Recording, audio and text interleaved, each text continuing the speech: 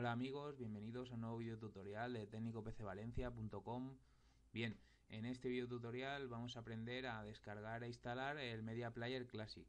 Media Player Classic es un competidor directo del VLC que como bien sabréis es un reproductor de todo tipo de archivos de vídeo y de audio. No necesita instalar ningún códec adicional, es solamente instalar el programa y ya podremos reproducir cualquier tipo de vídeo o de archivo de audio que tengamos en nuestro PC.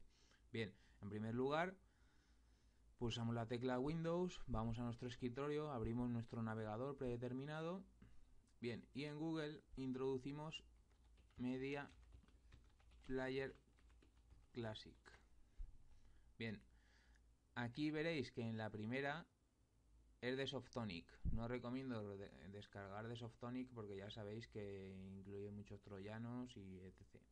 Bien, vemos aquí que esto SourceForge, que es una, base de, desarrolladores, pues le abrimos esta. Bien. Aquí, que es una página de descargas que funciona mediante desarrolladores, eh, decimos download. Y veréis que inmediatamente nos empieza a descargar. ¿Veis? Ya está descargando el programa. Son 6,9 megas, no tardará casi. Y comenzará el proceso de instalación. Bien, aquí seleccionamos español. Esta es la pantalla de introducción de la instalación. Le decimos siguiente. El acuerdo de licencia. Le decimos que aceptamos. Bien, aquí la ruta donde lo vamos a instalar. Algunas opciones. Le decimos siguiente. Siguiente crear icono en acceso directo para este usuario o para todos los usuarios. Bueno, eso es por si tenéis varias cuentas en Windows. Le decimos que para todos los usuarios. Siguiente. Instalar. Comienza el proceso de instalación. Y ya lo tenemos aquí. Aquí simplemente dándole a ejecutar.